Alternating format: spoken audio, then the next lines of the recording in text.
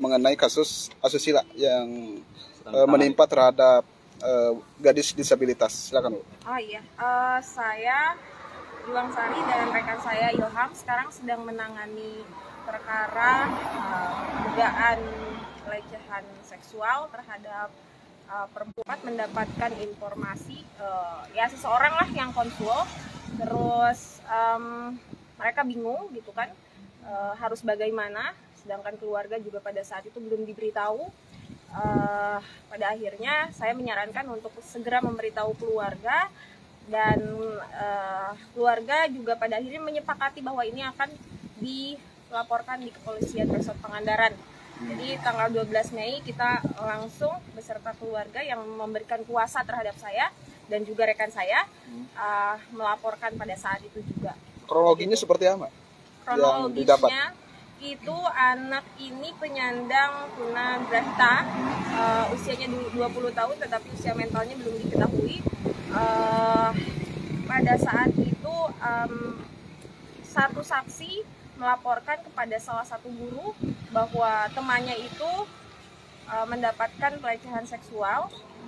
Pada saat itu juga dikonfirmasi oleh gurunya ternyata juga uh, korban atau uh, ya e, mengakui bahwa dia mendapatkan pelecehan.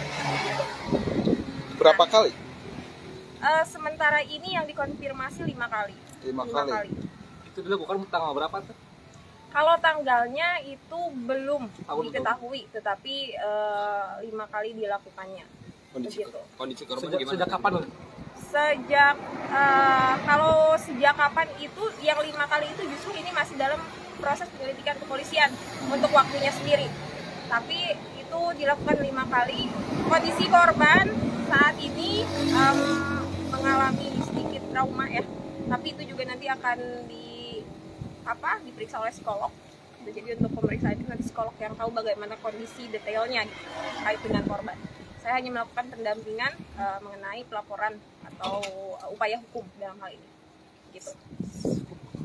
Uh, kalau untuk dari uh, si pelaku, si pelaku katanya pengurus yayasan ya atau ya, Diduga, terduga pelaku itu um, pengurus yayasan dan ex sekdis salah satu dinas di Pangandaran. Siap. Nah, mungkin saat ini apa yang akan dilakukan nih ke depan nih supaya mempercepat uh, apa namanya proses, proses Ya saya memohon sih kepada uh, apa penyidik atau kepolisian yang saat ini memeriksa perkara ini um, untuk segera menindaklanjuti ya ditindaklanjuti se, apa namanya secepat mungkin lah ya hmm. supaya kita bisa mengetahui uh, pelakunya gitu kan segera gitu meskipun sudah ada terduga pelaku tetapi uh, selama penyidik belum gelar melakukan gelar perkara kita juga tidak bisa gegabah untuk uh, menyebutkan siapa pelakunya. Siap. Saat ini terduga pelaku sudah dikantongi, tapi kita juga tunggu hasil uh, pengembangan dari pemeriksaan dari pihak polisian. Siap balik lagi ke tadi kronologi itu